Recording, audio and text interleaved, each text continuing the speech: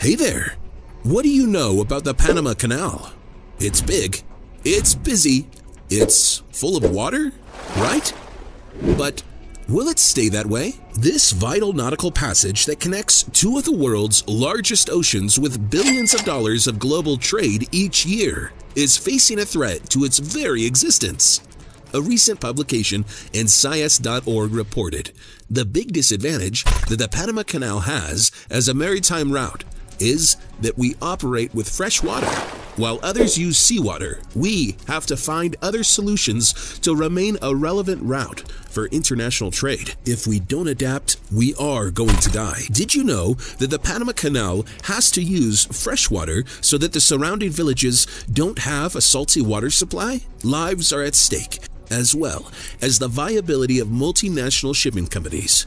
The struggles are real and have a global impact. But why now? What has changed? This sudden worry is because, unfortunately, experts say that the Panama Canal is running out of water. Nearly half of U.S. sea freight passes through here every year, and that needs to continue to be possible. But less water means fewer ships that can pass through each day. It's like trying to drive home from the office through LA traffic after half of the lanes on the freeway just disappeared. If you were driving in that commute, what would you do? Just get in a lane and wait forever? Spend tons of extra money taking a helicopter Uber home? Whichever option you choose, it's going to increase your expenses and hurt your bottom line. The captains of these ships are now faced with this same dilemma. This has opened up a money making, line cutting industry, though. Rich captains can pay $4 million to skip directly to the front of the line. Who are they getting these ideas from anyway? Disney World? It's like a Disney Fast Pass on steroids. But what if you don't pay that? So now what? Well, there are strategies in place that might fix the problem. Why is the canal running out of water? The Panama Canal relies on Gatun Lake's water to operate its locks. Gatun Lake plays a vital role in maintaining the canal's water levels, especially during the transit of ships through the locks, and the lake is drying up. Several factors are contributing to this dwindling water supply. First, climate change. Changes in global climate patterns have led to variations in rainfall and temperature. Panama has experienced shifts in its climate, affecting the regular rainfall that feeds into Gatun Lake. Climate change has led to unpredictable weather patterns, including periods of drought, which impact the water levels in the lake. Second, reduced rainfall. Gatun Lake depends on rainfall to replenish its water levels. Insufficient rainfall in the region can lead to a decrease in the lake's water volume, affecting the canal's ability to facilitate the passage of ships. In fact, last year's rainfall was 41% lower than normal, a record low since 1951. Third, increased evaporation. High air temperatures, presumably due to climate change, can result in increased evaporation rates from bodies of water, including Gatun Lake. This contributes to a loss of water volume, further exacerbating the canal's water supply challenges. Fourth, the growing demand for water.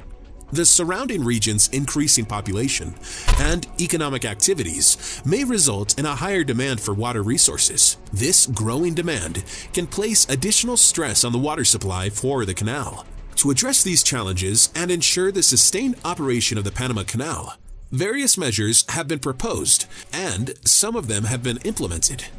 These include water conservation initiatives, improvements in water management practices, and the exploration of engineering solutions to enhance the canal's resilience in the face of changing climate conditions. To address the YouTube algorithm, go ahead and rain down on the like and subscribe buttons now so this channel doesn't dry up as well. Thanks. Now, the Panama Canal is a crucial part of the global supply chain, and 6% of the world's shipping passes through this 82 kilometer passage.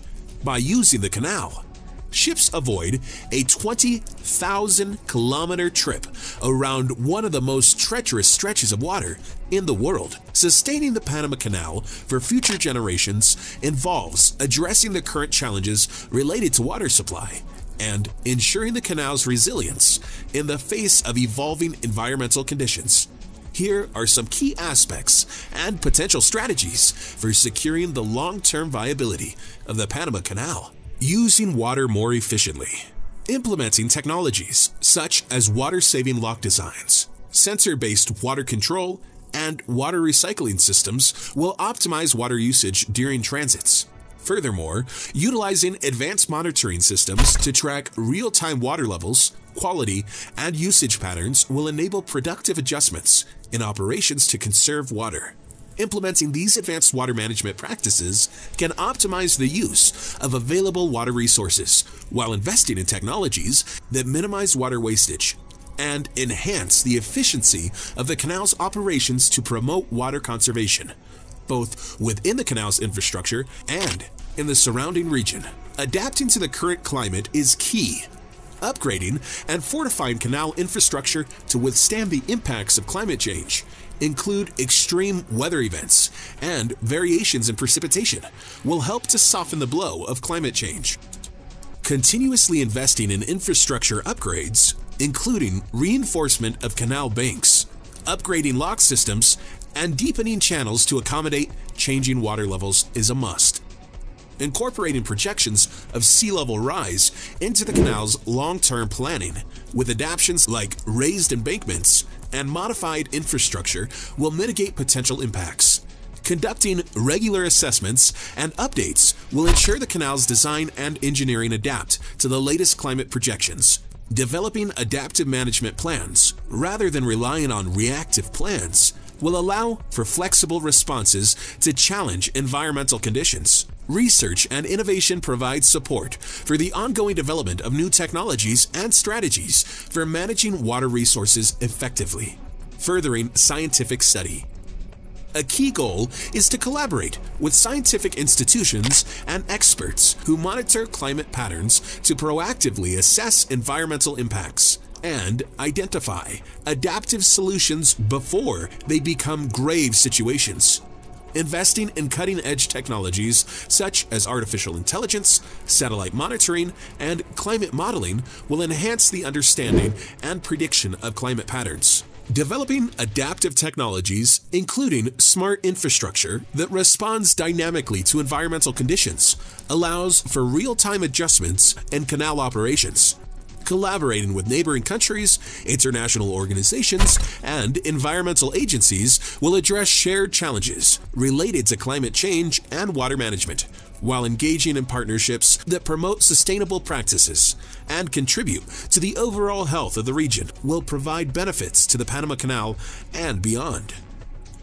Public awareness and education have been missing, raising awareness among the public, stakeholders, and local communities about the importance of water conservation and the sustainable use of resources by providing educational programs to enhance understanding of the impacts of climate change and the role that individuals and communities play in preserving water resources will bring a more personal accountability to the problem. Similarly, enacting and enforcing policies that promote sustainable water use and environmental conservation could have a positive impact regularly reviewing and updating regulations to align with the latest scientific findings and best practices in climate resilience will be a focus in 2024, as will investment in renewable energy. Exploring the feasibility of incorporating solar and hydroelectric power generation into the canal's energy mix can reduce reliance on traditional energy sources implementing LED lighting for the canal, as well as other energy-saving technology throughout the canal's infrastructure will minimize energy consumption. Exploring and investing in renewable energy sources to power canal operations will reduce the reliance on traditional energy sources and minimize the environmental footprint, regularly reassessing and updating strategies based on the latest scientific data and technological advancements. Developing comprehensive scenario plans that account for various climate-related changes will enable the canal to respond effectively to evolving conditions. And this lack of evolution and inflexibility over the past 100 years is really why we are in this problem today. So, flexibility in operations is key. Designing operational plans that allow for flexibility in response to changing environmental conditions, such as adjusting transit schedules or implementing temporary operational changes during periods of water scarcity, must be considered. By addressing these aspects comprehensively, the Panama Canal can enhance its ability to navigate the challenges of climate change and water supply, ensuring that it remains a vital and sustainable conduit for global trade for future generations. Collaboration among various stakeholders, a commitment to innovation, and a focus on long term planning will be essential in 2024 and beyond to achieve these sustainability goals. It's not just about global trade, though. What about the freshwater supply that the surrounding villages need to survive that we mentioned in the beginning of this video?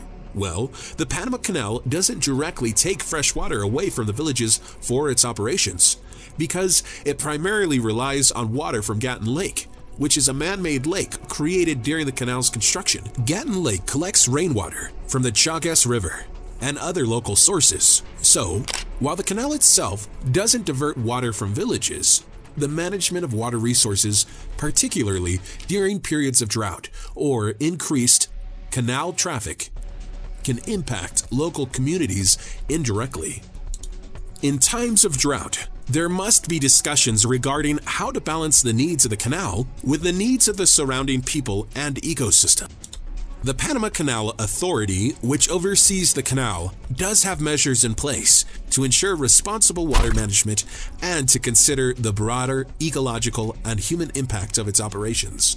So, any adjustments to the canal water levels have to be made after careful consideration of the possible side effects on the surrounding environment and communities. It's amazing to think just how problematic creating a canal in Panama really was failures, and disasters struck that claimed the lives of people, actually tens of thousands of workers, from diseases like malaria. This project even ruined the careers of two of France's most famous engineers before a workable solution could be developed. But in spite of these challenges, after 10 years of hard work, the canal was finally completed thanks to the availability of new modern machinery and advancements in tropical medicine. This feat was seen as an incredible achievement for an emerging world power. Since its opening, the Panama Canal has been instrumental to global trade, servicing over 1 million ships. So, next time you're watching something on the east coast of the US, or your goods arrive on a container ship that's passed through the Panama Canal, take a moment to appreciate the incredible engineering and sacrifice that made it all possible. See you in the next video.